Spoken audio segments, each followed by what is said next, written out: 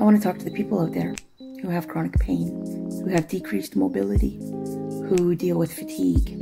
I was diagnosed with rheumatoid arthritis when I was two. I'm now in my 42nd year with the disease, and I am still learning.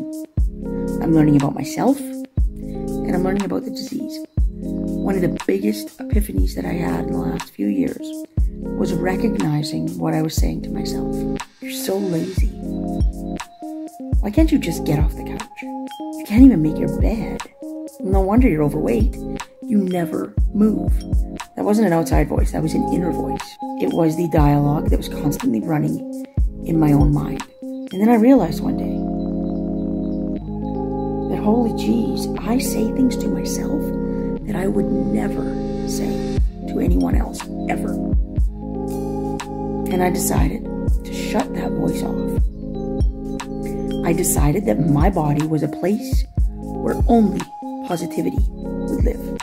Started talking to myself in the mirror, and yes, I felt crazy. I really did. I felt crazy, and it wasn't easy because I would look at myself in the mirror and I would immediately go into, oh, look at my hair.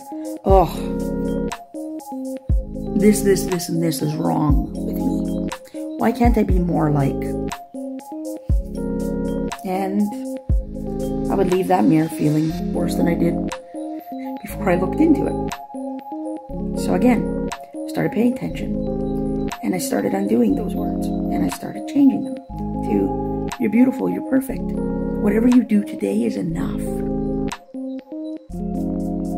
I started setting smaller goals for myself. So I would wake up in the morning and I would decide I'm going to do this, this, this, this, and this today. Or when I went to bed, oftentimes the night before, I would say, tomorrow I'm going to accomplish da da da da da da da. And I'd wake up in the morning and the fatigue would be there again. And I would go get my coffee and come back downstairs and sit on the couch. And that would be it. And I would beat myself up.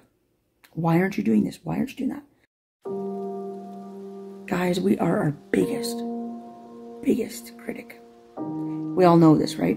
But when you actually start paying attention to the things that you're saying in your own mind, you realize that you may be your biggest enemy.